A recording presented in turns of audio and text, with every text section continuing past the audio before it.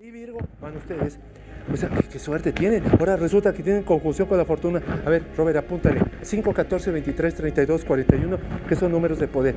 Todo número que se sumarice a 5. Aparte de esta función, nada más sería el día de mañana.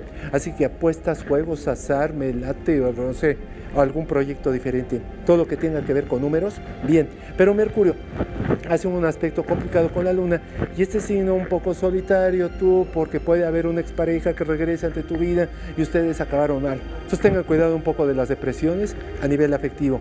Salvo por el dinero, puede haber una reconciliación y una relación afectiva muy buena para ustedes.